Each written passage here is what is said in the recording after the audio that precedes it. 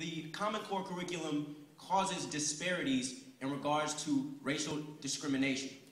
Now, when you look at testing, testing goes forth in a way that causes a bias to take place.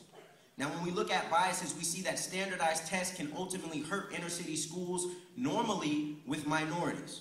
Now, according to Catherine Horn, who wrote the book Stopping or Perpetuating a Cycle of Failure, High Stakes Testing in Students, she states that non-white, non-Asian students, as well as students with special needs and English language learners are among the groups most deeply affected by high stakes testing. Now, Common Core curriculum has high stakes testing. Why is that? Because if you do not